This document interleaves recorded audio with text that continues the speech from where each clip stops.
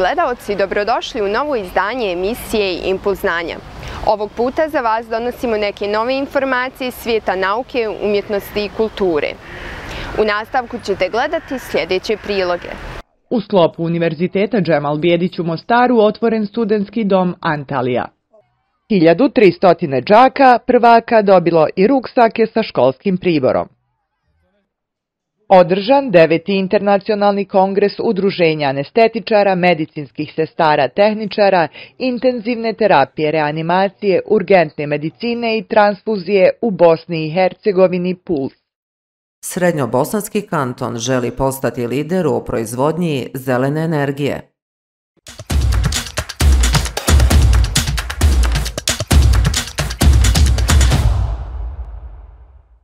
Posjetili smo Univerzitet Džemal Bijedić u Mostaru i u sklopu njega novootvoreni studentski dom Antalija. Na Univerzitetu Džemal Bijedić u Mostaru svečano je otvoren studentski dom Antalija koji je dobio simboličan naziv kao znak zahvalnosti za nesebičnu pomoć i podršku turskog grada Antalija kao glavnog financijera. Rektorica Univerziteta Džemal Bijedić u Mostaru, profesor dr. Alena Huseinbegović je kazala kako je ovo nova era najstarije visokoškolske ustanove u Hercegovini. Simboličan naziv Antalije je zbog izraza zahvalnosti gradu Antaliji koji je glavni finansijer izgradnje studentskog doma. E, pored e, grada Antalije opremu za studentski dom obezbijedio je Savez općina Turskog svijeta, E, parter oko ovaj, e, samog studentskog doma finansiralo je gradsko vijeće grada Mostara, a završne radove koji su trajali evo, skoro godinu dana, a koji su bile vrlo značajne za otvaranje studentskog doma, finansirala je vlada Hercegovačko-Neretvanskog kantona i zaista smo svima njima zahvalni jer su oni svi zajedno doprinijeli otvaranju studentskog doma koji je vrlo značajan i predstavlja, možemo slobodno reći, jednu novu eru u razvoju univerzitete i šire društvene zajednice, a rezultat je zajedničkog napora svih tih relevantnih aktera koji su učestvovali u, u ovom projektu. Kamen temeljac za izgradnju studentskog doma Antalija postavljen je 2016. godine, a izgradnju su usporavale brojne okolnosti od krize na međunarodnom planu do posljedica koje je izazvala pojava koronavirusa, ali je ipak uspješno završen i postao je respektabilan objekat, kao inspirativno okruženje za studente koji će nakon što završe svoje fakultete zasigurno biti ključni potencijal za razvoj akademske zajednice, privrede i društva. Ovo za njih nije građevina, nije, nije objekat koji ima čeličnu konstrukciju ili betonsku konstrukciju, nego je prostor u kojem će oni stanovati, gdje će stvarati uspomene, gdje će u suštini stjecati znanje, vještine, učiti se raspolagati vremenom i istraživati, stvarati nova inovativna rješenja i realno se sa izazovima ključnim, znači su dešavat će se stvari znači u skladu sa, sa pravilima struke, odnosno znači nadam se da će sve to skupa uspjeti na pozitivan i ispravan način da, da dovedu do kraja. Studentski dom može primiti 180 studenta, napravljen je na pet spratova, ima 22 apartmana koji su moderno opremljeni, te studentsku ambulantu, psihološko savjetovanje i zdravstvenu njegu koju će pružati ambulanta Stari grad Mostar. Cijena studentskog doma je 270 konvertibilnih maraka za dvokrevetne sobe, odnosno 370 za jednokrevetne sobe.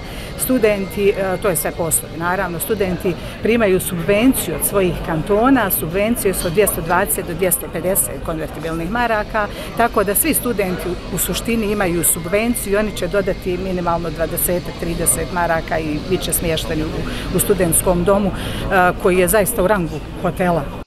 Studentski dom nudi i dodatne sadržaje, kao što je moderni restoran u sastavu doma te obližnje restorane koji imaju u ponudi topla i hladna jela po pristupačnim cijenama.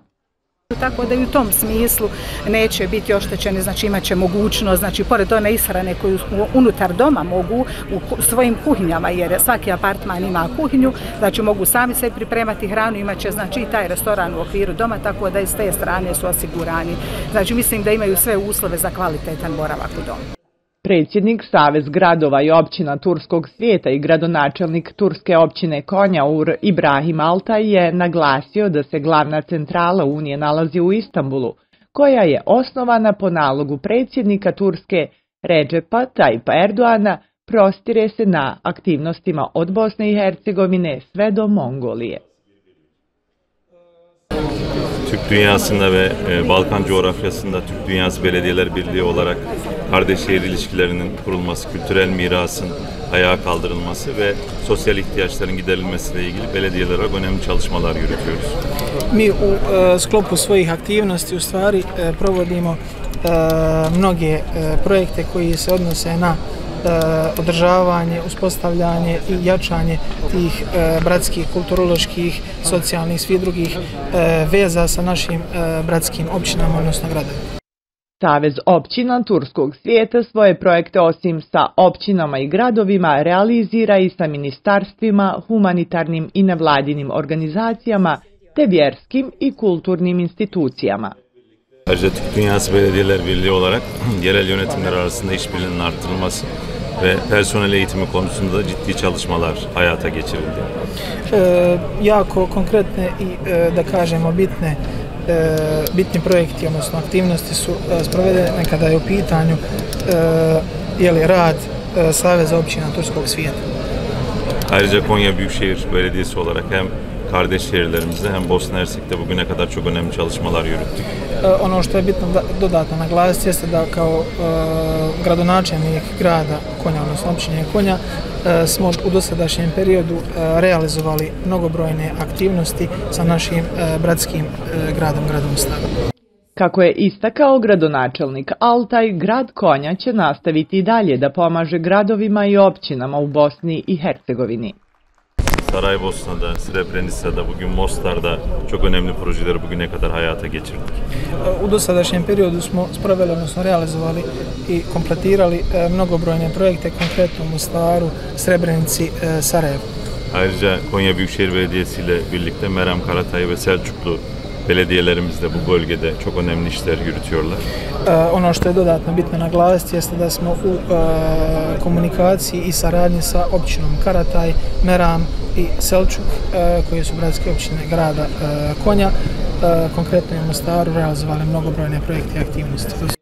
Zamjenik generalnog sekretara metropolitanske općine Antalija Jasar Ergun je kazao kako je sretan što je u Mostaru sa kojim bratske veze Antalija gaje od 2011. godine, a sa univerzitetom Džemal Bjedić u Mostaru još od 2003. godine.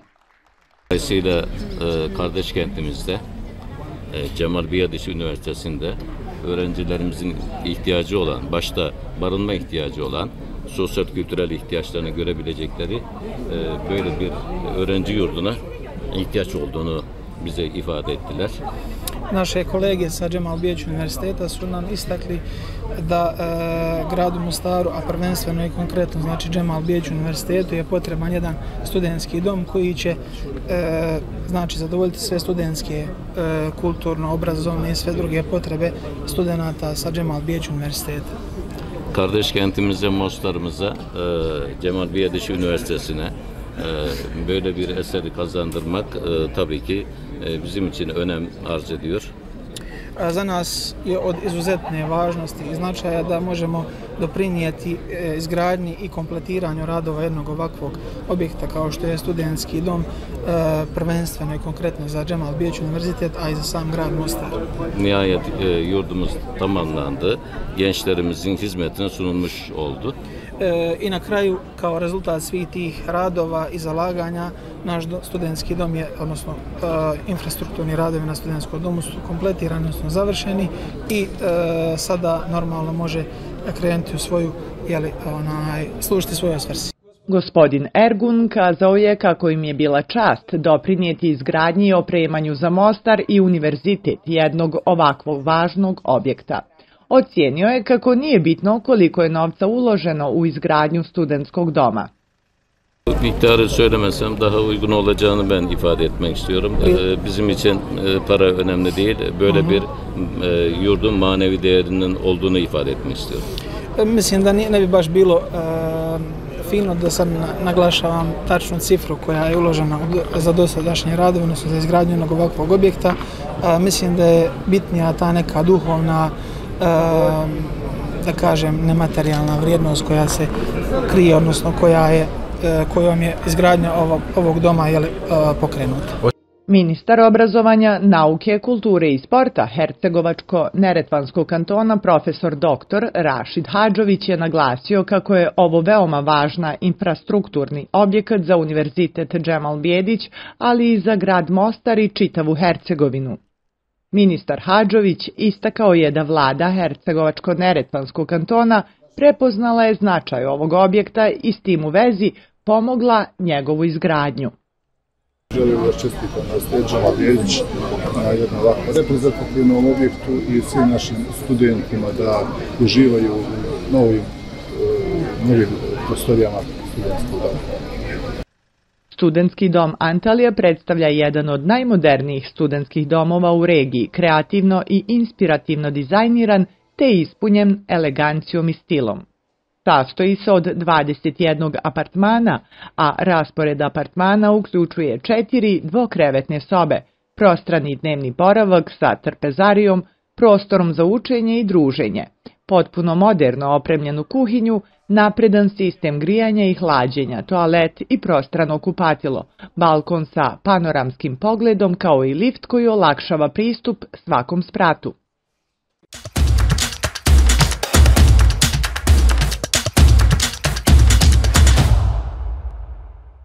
Razgovarali smo sa Marijom Kabok, predsjednicom Upravnog odbora na Internacionalnom univerzitetu Brčku, koja je na ljetnoj školi Mojoj BiH 2023 držala radionicu poezije. Marija Kabok, predsjednica Upravnog odbora na Internacionalnom univerzitetu Brčko na ljetnoj školi Mojoj BiH 2023, polaznicima radionice je prezentovala poeziju na kojim je između ostalog poručila – da ako imaju ciljeve u životu, hrabro koračaju prema njima i da ih ostvaruju. Nekada nije ni lako. Biće tu uspona i padova, svi smo mi to okusili. Ali e, bitno je obrisati kolena i nastaviti dalje. E, vidim, e, među njima ima izuzetno talentovane dece. Vidim da ima i stidljive dece, što ne znači da nisu talentovani, ali su stidljivi. Znači, neko je komunikativniji, neko nije. E, ja se vratim u njihov e, period života, kada sam ja takođe bila stidljiva i da mi je trebalo vremena da prevaziđem samu sebe da bih bila otvorenija. Tako da poštujem svaku ličnost koja je ovaj, prisutna danas ovde u školi i zaista im želim uspeh u životu, e, šta god da završe, a poezija neka im dopuni onaj duhovni svet, da ulepše njihov duhovni život, duhovni svet, da obogate sebe, eto, sa nekim lepim rečima i ostalo. Djeca vole poeziju, kaže gospođa Kabok. Mene je oduševio nekako je svojstveno, znate, devojčicama, da su, da pišu, da su pesnikinje i šta ja znam. A malo je manje, mada mi imamo izuzetno čuvene pesnike, počev od naših Rakić, Dučić, Antić, da ne pričam onda od stranih pisaca Jesenjin, Borges, Majakovski, znači imamo mi muškarce, izuzetno ovaj, koji su bili prirodni dar od Boga dato ovaj, pesnici, ali me oduševio ovaj, u ovoj drugoj grupi dečko koji je počeo onako polušaljivim tonom razgovor sa mnom, da bi na kraju odabrao jednu iz hvala ti Amine da se ovaj posebno javno zahvalim tebi kao ovaj muškarcu koji je toliki akcenat dao i odabrao je zaista jedan kratak moj stih, ali baš jedan vrlo efektan i ja sam danas uh, vrlo srećna žena i ponosna i na njih, a ne mogu osporiti ni moj rad, jer oni su samo potvrdili neki moj rad, uh, prihvatanjem mene i nekih mojih sugestija. Inspiracija je jako bitna pri stvaranju poetskih dijela, a Marija Kabok je pronalazi u svemu. U svemu oko sebe. Pa evo čak i u ovom našem razgovoru, ovaj, ja već imam inspiraciju za neki tekst koji ću napisati i, i evo inspirisana sam njihovim druženjem, što ću takođe ovaj, napisati tekst i objaviti i to javno da znači da mogu da isprate oni imaju moje ime i prezime u knjizi mogu da me nađu na društvenoj mreži objavit ću to javno da mogu biti dostupna i njima pa eto da skinu sebi da eto da su imali letnju školu i jedno lepo druženje sa mnom kao i ja sa njima. I mogu vam reći da ovaj e, nije bilo ni sekunde nepažnje da im je pažnja negde lutala, ovaj, apsolutno su bili fokusirani. Gospođa Kabok je sretna što su njene radionice bile jako zanimljive učenicima. Što je najvažnije, to dokazuje da djeca u sebi nose dobrotu i ljubav, ne samo kada je u pitanju poezija, zaključila je. To mi daje nadu u humanost, u empatičnost, ne samo u poeziju, jer ja e, u njima vidim onu drugu stranu ličnosti, onu ljudsku, onu dob, dobrotu, da ta deca nose u sebi, u njihovim dušama, dobrotu i ljubav. A dok postoji ljubav i u njima, oni će biti i uspešni i dobri ljudi. Što je najbitnije, nebitno da će se baviti poezijom, znači e, šta god da se da odaberu i na šta god da se fokusiraju, oni će biti dobri ljudi.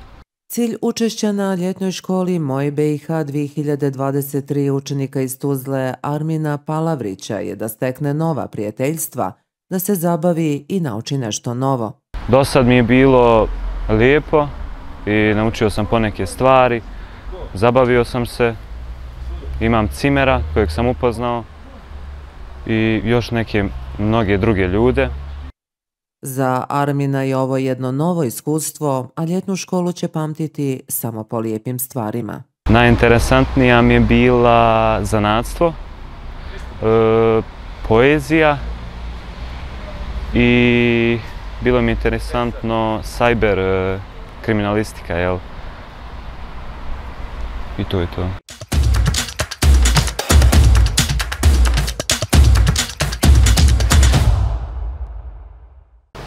Održana je kulturno-zabavna manifestacija Prvačići sretno u organizaciji općine Novi grad Sarajevo.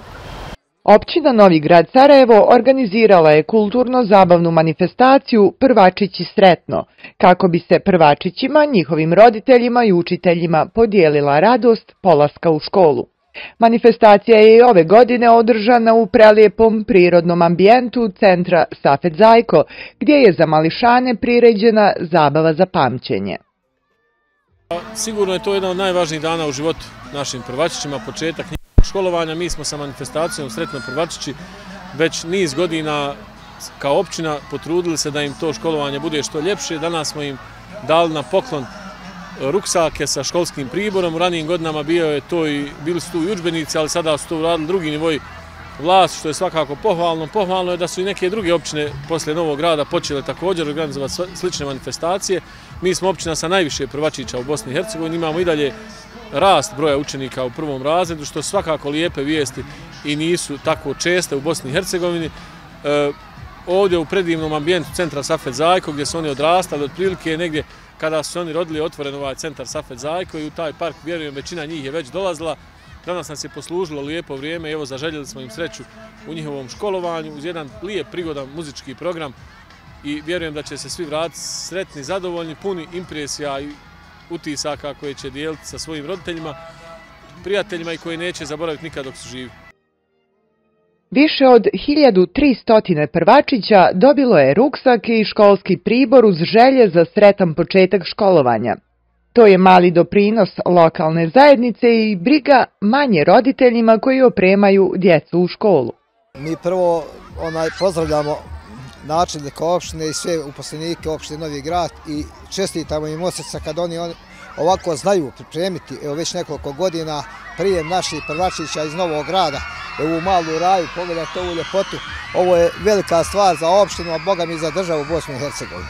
To je od velikog značaja. Prvo da se oni ovdje nađu na ovom lijepom terenu u svojoj općini i sve škole općine Novog grad da ovdje se nađu i da dobiju ruksake i ostalu opremu koje u općina svake godine obezbijedi. A ove godine i kanton treba pohvaliti i oni su obezbijedili učbenike za sve prve razde i druge učenike drugih razreda osnovnih škola. Ja im čestitam. Priredba je danas bila izvanredna, svaka čast, sve pohvale i e, veliko hvala općini. Ovo je nešto posebno za nas prvačiće, kako za mene učiteljicu, tako i za naše učenike i naravno za roditelje. A naravno da će ostati duboko urezan u njihovim srcima, e, prvenstveno ovoj našoj mladoj i lijepoj dječici, Evo, vjerujte da su cijeli dan pitali kad ćemo po ruksakove, šta će biti u tim ruksakovima, tako da smo cijeli dan po tom nekom euforijom. Ovom prilikom koristim da se zahvalim ministarstvu što je obezbijedilo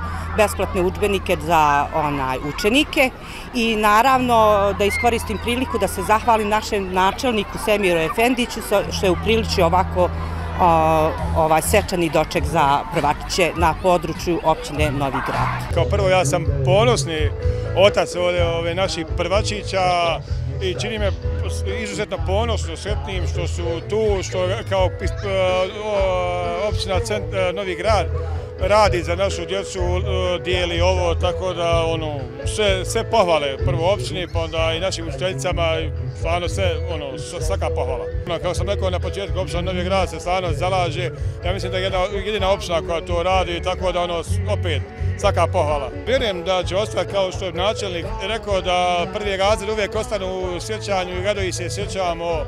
Ja se uvijek sjećam s tog prvog razreda, vjerujem Nažalost, moja priroda nije bila ovakva, ali vjerujem da će djeci ostati duboko urezana u sjećanju. Mogu da govorim kao učiteljica, ali i kao roditelj, jer mi je dijete u prvom razredu. Jako je bitna, prvi razred je inače jako bitan za sve prvačiće, pogotovo ovako neke lijepe manifestacije i prigode.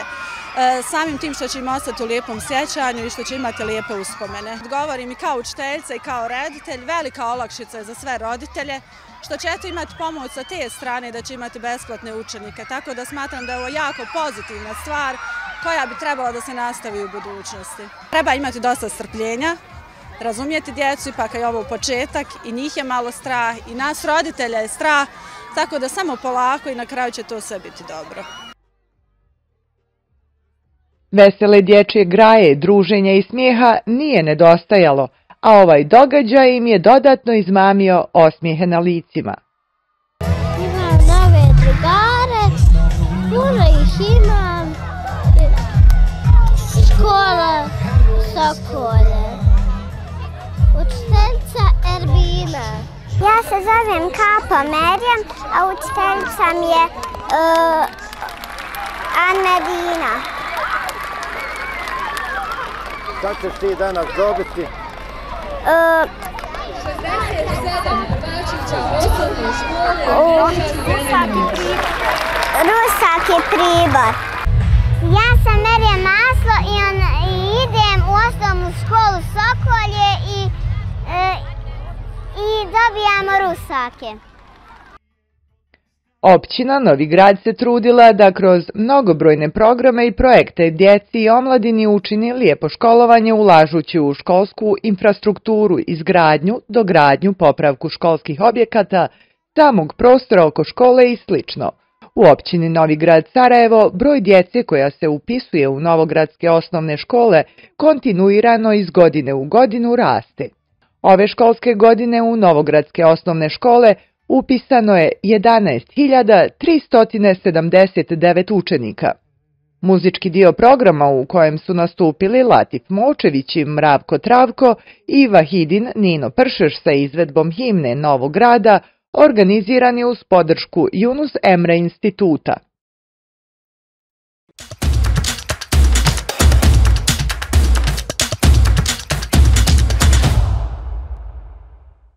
U Bihaću je održan deveti međunarodni kongres PULS.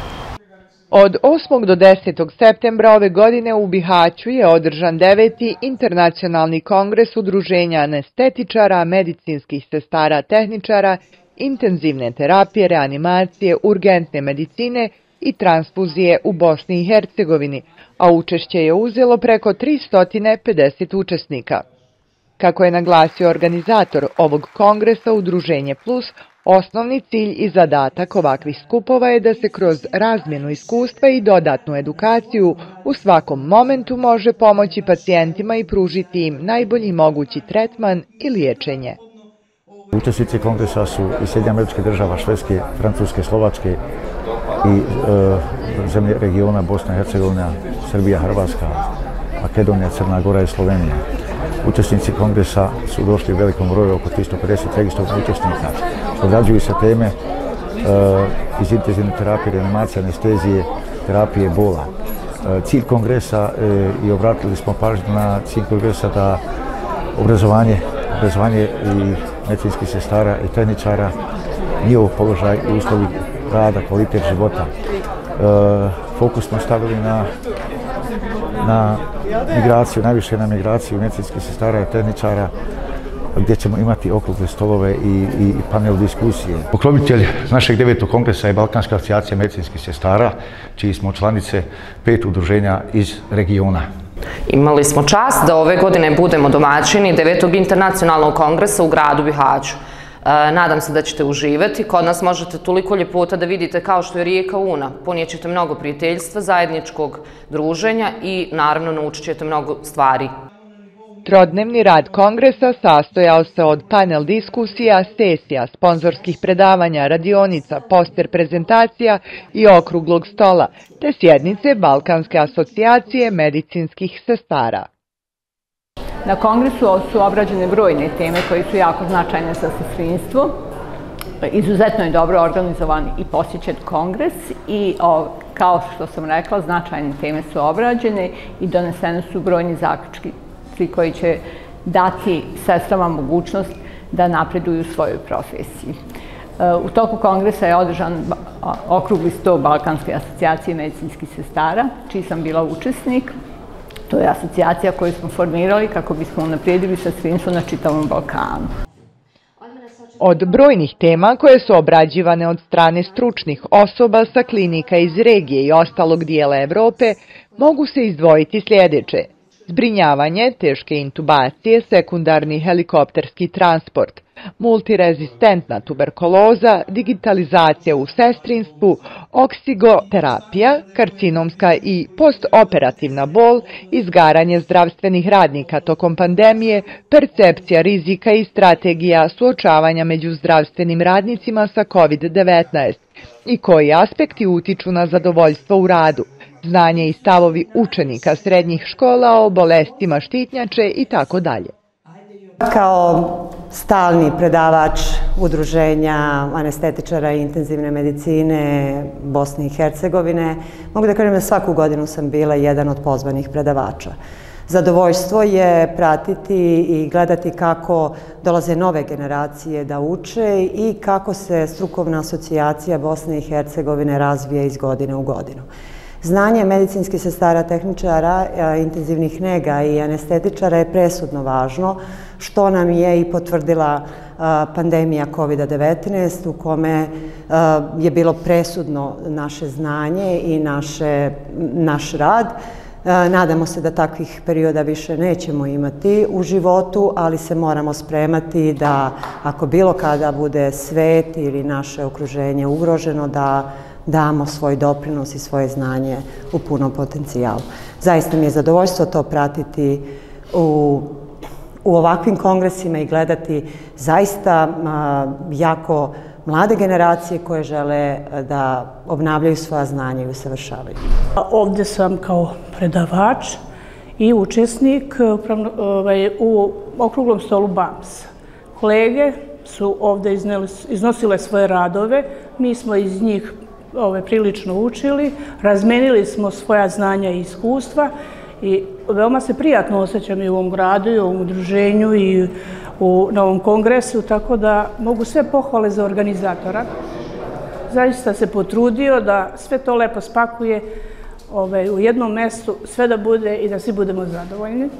Kao što se ranije istaklo, pokrovitelj ovog kongresa bila je Balkanska asocijacija medicinskih sestara, koja je u oktobru 2020. godine sa sjedištem u Beogradu registrovana kod Agencije za privredne registre Republike Srbije sa ciljem promovisanja medicinske struke i edukacije medicinskih sestara. Osnivači asocijacije su strukovna udruženja iz Srbije i Bosne i Hercegovine s željom osnivača da se ovo članstvo proširi i učešće u radu prihvati svako udruženje koje u svojim programima ima za cilj unapređenje sestrinstva kao profesije kroz podizanje kvaliteta, zdravstvene njege i edukacije sestrinskog kadra. Veliko zadovoljstvo je da prisustujem devetom internacionalnom skupu u sklopu udruženja e, Puls e, i ovog puta okrugli sto e, Balkanske asocijacije medicinskih sestara govorio je o svim problemima medicinskih sestara našeg regiona. Na zaključcima iz marta ove godine, E, nakon druge konferencije Balkanske asocijacije medicinskih sestara donešeni su određeni zaključci koji su proslađeni svim državnim institucijama Ministarstava zdravlja i Ministarstava obrazovanja kao najkompetentnim institucijama što se tiče profesije medicinskih sestara. Iskreno se nadam da će i državne institucije u Bosni i Hercegovini uzeti u razmatranje donešene zaključke ove konferencije, a ujedno mogu da najavim i da će treća konferencija Balkanske asocijacije medicinskih sestara sestara biti održana 9. marta 2024. godine u Sarajevu. Domaćin konferencije biće predsjednik udruženja Puls, gospodin Mevludin Babajić u nadi da će e, naša profesija e, napredovati, a i da ćemo kroz e, reforme koje nas očekuju ka putu ka Evropskoj uniji značajno poboljšati status medicinskih sestara. Želeo bih da se zahvalim predsjedniku Udruženja Puls i svim ostalim predsjednicima i članicama Udruženja Balkanske asocijacije medicinskih sestara na dosadašnji saradnji, ali u želju da saradnja proširi i da bude što plodonosnije. Kongres je bio i prilika da se razmijene mišljenja i iskustva u struci. Inače, kod nas u Makedoniji ovaj, su problemi kao, eto, slični kao i u regionu, samo što mi imamo malo više problema jer nam je status medicinskih sestara malo više zagroženiji zato što mi nemamo taj naš zakon za našu profesiju. Nažalost, menjaju nam sa ministri na kratak period i sve ono što uradimo i napravimo i dođemo do ostvarivanja cilja moramo onda opet iz početka. I kad nemate taj zakon i kad nemate te utvrđene kompetencije, onda imate narušeno dostojanstvo prema sestrama u svim pravcama. Mi to, kako kažemo, 4N, sestre su nezadovoljni od svoje plate, nezadovoljni od svoje obrazovanje, od nepriznanja obrazovanja i nisu zadovoljni od njihov opštestveni status. Jer imaju vrlo male lične dohode, nemaju ovaj, uslove na posao onako kako zaslužuju, nisu priznate, nisu prepoznate eh, po svom obrazovanju, nisu uključeni u procesu obrazovanja, ovaj, kolektivni dogovori ih prepoznaju samo po koeficijentima, po osnovu eh, obrazovanja, ne, ne poznaju ih po osnovu veštine i iskustva i ne možete im platiti sve ono što oni rade i zaslužuju. Posebna tematika odnosila se na odliv medicinskih sestara tehničara i njihov opći nedostatak u svijetu. Gospodja Bešlijovska je istakla da se u Sjevernoj Makedoniji suočavaju sa ogromnim odlivom medicinskih sestara.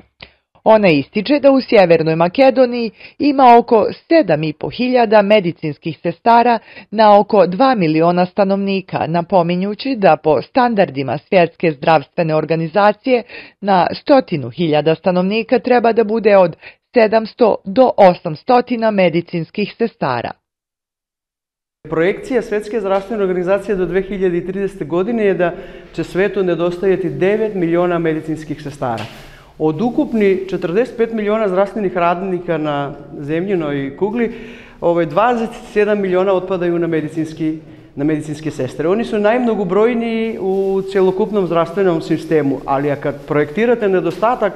Na 9 miliona sestra do, sestre do 2030 trebamo se svi ovako ovaj, zamisliti strateški što to sve treba da uradimo, jer doće vreme, doći će vreme kad ovaj, nećemo da imamo medicinske sestre i nećemo da imamo ko da leči ovaj, naše pacijente. A još jedna projekcija i jedna studija govori da će svaka sestra za u, u idućih pet godina, svaka šesta sestra da, o, da, da ide u mirovini. Tako da просек тоа декада возраст и сестри е веќе повучена над 50 година и затоа овај trebamo sve specijalnosti u sestrinstvu kontinuirano nadopunjavati i koristiti ove sestre koje imaju iskustvo na 30 godina i više imaju veštine, imaju znanja da mentoriraju i ovaj, da nauče nove sestri da educiraju u radu. Trebamo dati više autoritet tim sestrama u bolnicima.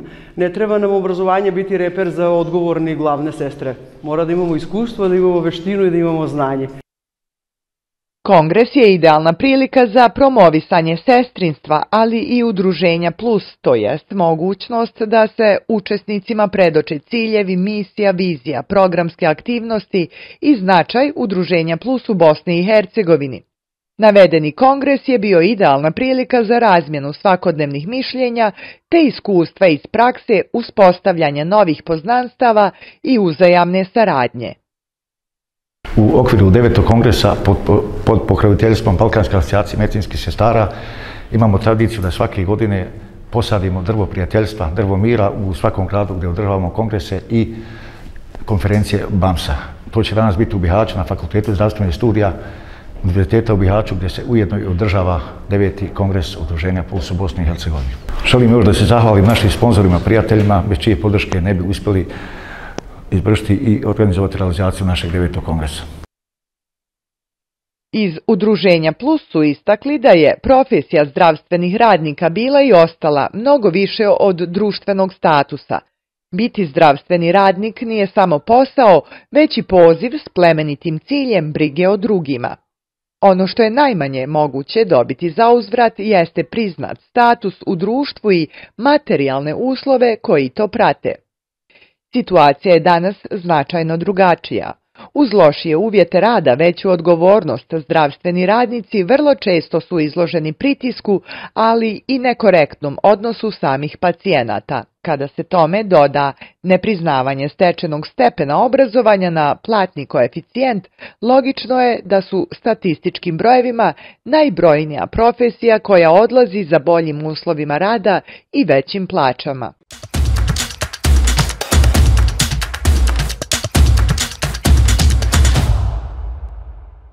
Na Internacionalnom univerzitetu Travnik održana međunarodna konferencija. Internacionalni univerzitet Travnik u Travniku u saradnji sa Fakultetom za logistiku Univerziteta u Mariboru, Tehnološkim Durban Univerzitetom iz Južne Afrike i Centrom za napredne tehnologije u Sarajevu organizova je 26. međunarodnu konferenciju pod nazivom Energetska tranzicija u Evropi i održiva mobilnost sa izazovima na stanje u Bosni i Hercegovini. Osnovni cilj konferencije bio je razmatranje energetske tranzicije u Evropi kao obnovljivim izvorima energije i utjecaja na održivu mobilnost sa izazovima na stanje u Bosni i Hercegovini. Rektor Internacionalnog univerziteta Travniku u Travniku, profesor dr. Rajko Kasagić, kazao je da su profesori kroz izlaganje svojih radova nastojali da objasne kako na najbolji način izvršiti energetsku tranziciju kako zamijeniti obnovljive izvore uh, energije umjesto uglja, umjesto nafte, da energiju proizvodi uh, bioenergija, odnosno biosredstva i da energiju proizvodi solarna energija, solarna svjetlost. Bosna i Hercegovina je moćna po tom pitanju. 30 teravat sati može da proizvede energije iz prirodnih resursa. Do sada je već obezbijedila 8 teravat sati iz prirodnih zamjenjivih izvora. I naš zadatak je da naučnim radima dokažemo koja je moć Bosne i Hercegovine na zamjeni sa obnovljivim izvorima energije. Dekan saobraćenog fakulteta Travnik, profesor dr. Sinan Ali Spahić je istakao da je međunarodna konferencija bila izuzetno posjećena i da mu je posebno zadovoljstvo što su ove godine u organizaciji učestvovala i dva renomirana univerziteta iz Slovenije i Južne Afrike.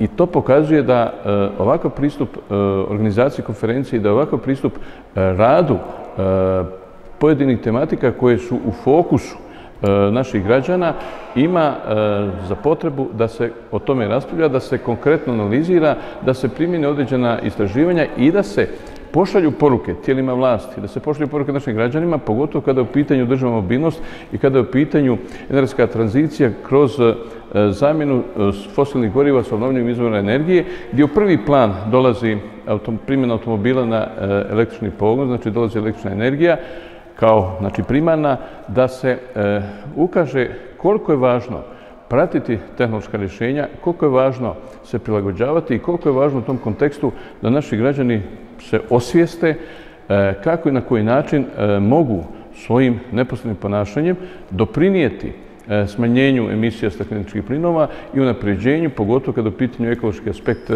naše životne sredine. Međutim, ono što je izuzetno važno, e, ovo pokazuje da moramo, dakle, trenutno pratiti tehnološka dostignuća na razini Europske unije i prilagođavati se kako kroz donošenje novih zakona, koji mora biti, dakle, puno dinamični i puno brži, tako i kroz, dakle, neposrednu zamjenu e, voznog parka koji se nalazi na mreži cesta Bosne i Hercegovine, gdje, nažalost, moramo konstatirati da starost prema dostupnim izvorima je preko 19 godina, što u usporedbi sa drugim državama Europe i u regiji je doista e, poseban problem što je zabrinjavajući.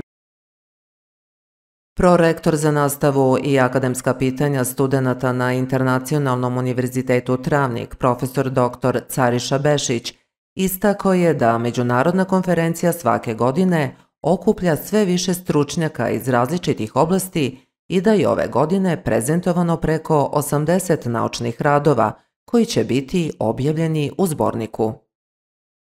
Svi ovi naši radovi će biti e, prezentovani u zborniku, to je poseban kvalitet. E, Naravno danas smo također ponosni na e, naše sesije koje se organizuju u sklopu 26. međunarodne konferencije, koja svaka ponaosob je interesantna s obzirom da se tretiraju različite problematike kako i na koji način premostiti e, postojeću e, energetsku globalnu krizu. Da li je to e, s jedne strane izbegavanje proizvodnja Eh, električne energije, da li iz vodotokova, ili znamo da tu je sistem uzročno-posljedičnih veza, vi pregradite eh, neku rijeku, potopite plodne oranice pored rijeke i onda s jedne strane liječite uzrok ili posljedicu, odnosno problem eh, proizvodnje električne energije, s druge strane dolazite u problem sa proizvodnjom hlebnog žita i ostalih jeli, poljoprivrednih e, kultura. Ono što posebno danas e, treba apostrofirati jeste da Bosna i Hercegovina, posebno srednjobosanski kanton, negde 75% svoje energije podmiruje iz obnovljivih izvora energije, da li je to energija sunca i vjetra, pa tek na trećem su ti vodotokovi, odnosno e, rijeke. Na konferenciji je učestvovo i premijer Srednjebosanskog kantona Tahir Lendo, koji je pohvalio ovogodišnju temu jer je u fokusu interesovanja javnosti. Kao predstavnik vlade, premijer Lendo je istakao da Srednjobosanski kanton trenutno proizvodi oko 70% potrebne električne energije te izgradnjom vjetroparka na Vlašiću pravi snažan iskorak ka energetskoj samodrživosti. Premijer Lendo se nada kako će ovaj kanton u budućnosti postati lider u proizvodnji zelene energije. Na konferenciji je učestvovao i dekan Fakulteta pravnih nauka, međunarodnih odnosa i diplomatije – MIT Univerziteta iz Sjeverne Makedonije, Atanas Kozarev, koji je kazao kako se nada da će akademska zajednica dati konkretan doprinos ka rješavanju pitanja energetske tranzicije.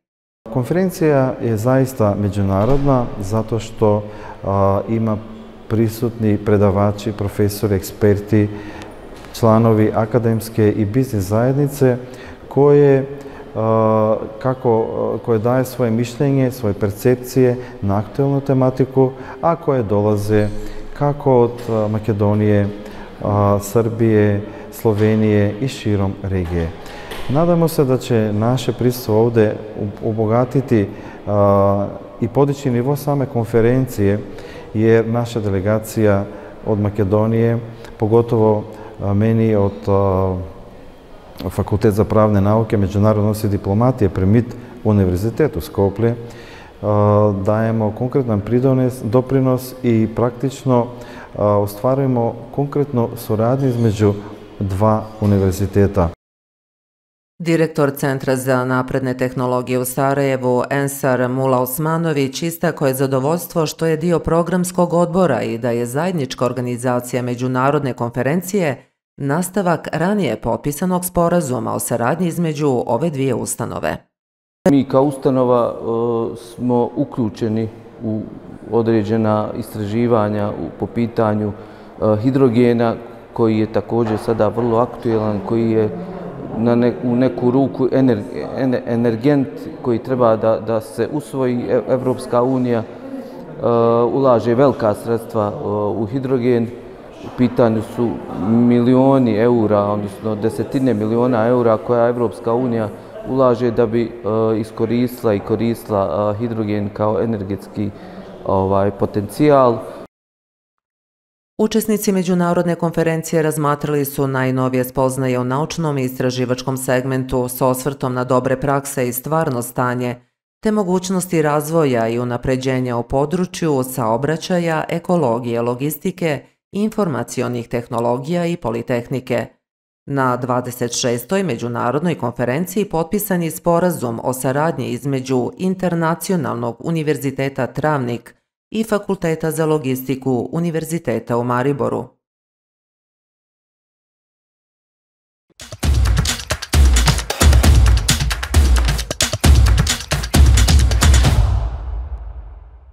Cijenini gledalci, hvala vam na pažnji i do narednog viđenja lijep pozdrav!